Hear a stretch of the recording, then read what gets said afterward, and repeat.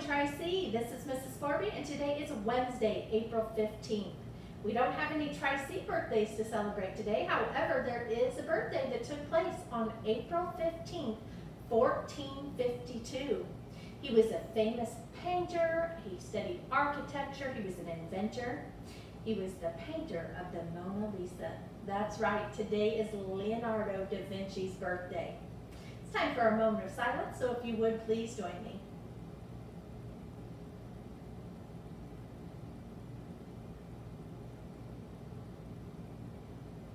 All right. So looking back in history, 1802, a brother and a sister had decided to uh, settle in a cat in a cottage. Um, it was very plain, did not have any kind of electricity or running water like we have today. And uh, the brother thought of it as plain living, but high thinking. Having that plain living and high thinking time, it would allow him to study his writing and work on writing. Well, William and Dorothy, that was the brother and sister, decided to go on a walk one day, April 15th in 1802. And as they were walking, they came across this lake, and by this lake was this beautiful path of daffodils. It was so beautiful that that evening when Dorothy got home, she wrote about it in her diary. Later on, a few years later, William decided to write a poem about the daffodils that his sister Dorothy had written about in her diary. That became one of his most famous poems. The poet was William Wordsworth. I wandered lonely as a cloud that floats on high o'er vales and, and hills, when all at once I saw a crowd, a host of golden daffodils, beside the lake, beneath the trees, fluttering and dancing in the breeze. That's the first stanza of his poem. That made me have a connection, you know, when we have those connections when we read something or learn about something. When I was learning a little bit about the author, he had made a comment that during that having that plain living time in that little cottage gave him time to have high thinking. So plain living, but high thinking. And I have the connection that right now, while we're at our homes, um, we have time to do some high thinking. So use those brains and, and put those brains to work and take this time to, to be creative. We also had some other cool things happen in history.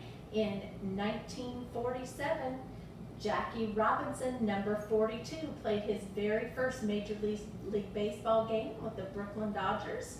And in 1956, NBC station in Chicago decided to broadcast all in color. That's all I have for announcements. Turning it over to you, Mr. Owens. Thank you, Mrs. Forby. Good morning, boys and girls. Mrs. Forby, I love that concept of high thinking. This time away has given all of us some extra time to read a book maybe we didn't have time to get to or to research some things and uh, be creative and do some things that we normally don't have time in our busy daily schedules for. One thing I have done is I've started taking some online guitar lessons, which has been very difficult for me, but I've had a guitar for a long time and never invested the time to play it. I'm getting better, not quite good enough to share with all of you yet, but maybe we'll get there by the time our closure's over. So we'll see. Parents, we apologize for running out of packets on the bus yesterday. We made a few adjustments and uh, ended up running out. So what we will do is we'll reload those crates today and have those packets available during our bus routes. I've also attached a link to a survey on today's announcements. If you will fill that out just to give us an idea of where you pick the uh, packets up, how many from each grade level that you're taking, and we will make our copying more efficient as we roll out some new resources on Monday. We have quite a few people who have joined the Book of Success, so let me read those off to you. First is Haley Martin.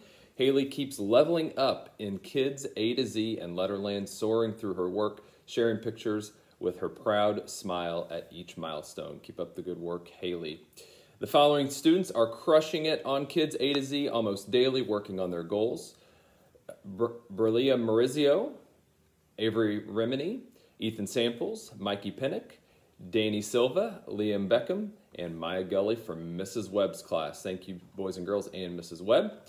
From Mrs. Cook's class, Emmanuel Edwards, Madalena Castillo, Aaliyah Wade, excuse me, Max Rhodes, Harper McCann, Grayson Kirschbaum, and Kylie Kraft have also been working on Kids A to Z, other apps, and the papers that we are sending in the paper packet. Great job, Mrs. Cook and students.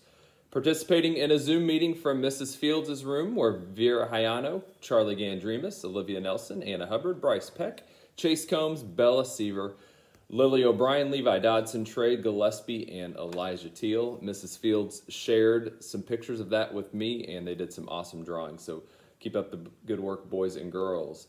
And finally, from Miss Gravatt's classroom, they had a Zoom meeting yesterday morning, and it turned into a pet show. Miss Gravatt was able to see some of the pets of her students at their houses. Harper Matthews, Evan Campbell, Sophie Hornick, Jude Farina, Crosby Tanner, Liam Mitchell, Braden Wallen, and Charlie Swink. That's all we have for our Book of Success and our announcements today. We'll see you back bright and early tomorrow. Have another great day. Thanks.